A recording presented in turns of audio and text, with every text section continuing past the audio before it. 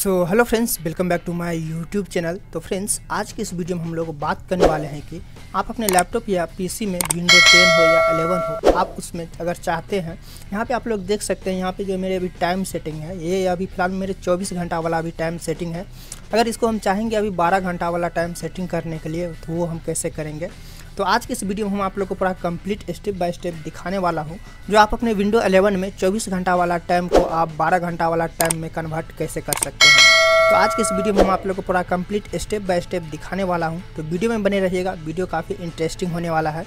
तो वीडियो का आप लोग स्किप मत कीजिएगा, वरना आप लोग को समझ में नहीं आएगा। तो चलिए हम वीडियो को स्टार्ट करके आपको पूरा कंप्लीट स्टेप बाय स्टेप दिखा देता हूँ। तो वीडियो स्टार्ट करने से पहले आप लोग से एक छोटी सी रिक्वेस्ट है। अगर आप मेरे चैनल पे नए नए आए हैं तो चैनल को सब्सक्राइब ज़रूर कर ले ताकि आने वाला वीडियो का नोटिफिकेशन आप तक सबसे पहले पहुँचे। तो हेलो फ्रेंड्स मैं हूँ दिलीप तो आप लोग देख रहे हैं टेक्निकल दिलीप यूट्यूब चैनल तो आप लोग का बहुत बहुत स्वागत है टेक्निकल दिलीप यूट्यूब चैनल में। तो चलिए हम वीडियो को स्टार्ट करके आपको पूरा कंप्लीट स्टेप बाय स्टेप दिखा देता हूँ।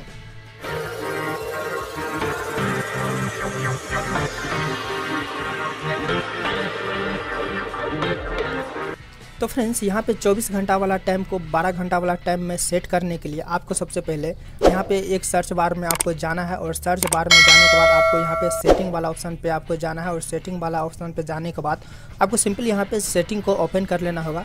सेटिंग को आप जैसे ही ओपन कीजिएगा, उसके बाद आपके सामने में यहाँ पे एक ऑप्शन आपको दिखाई दे देगा टाइम एस लैंग्वेज का। तो आपको सिंपली यहाँ पे टाइम एस लैंग्वेज वाला ऑप्शन पर आपको क्लिक कर देना होगा।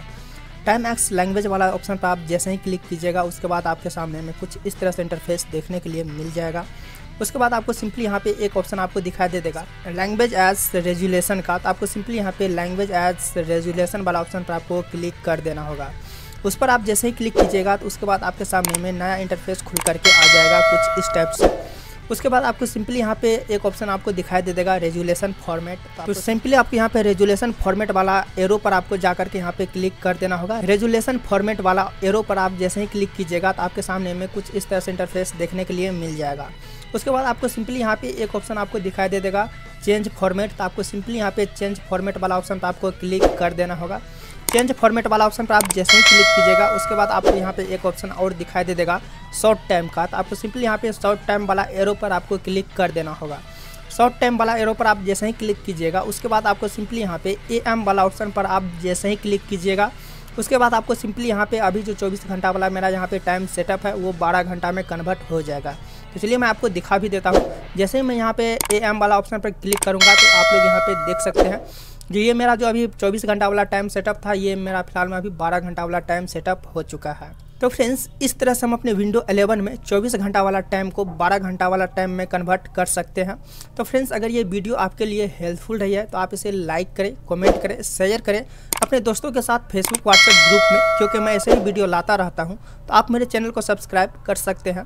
तो फ़िलहाल के लिए इतने ही फ्रेंड्स फिर मिलता है नेक्स्ट वीडियो में। तब तक के लिए जय हिंद, जय भारत।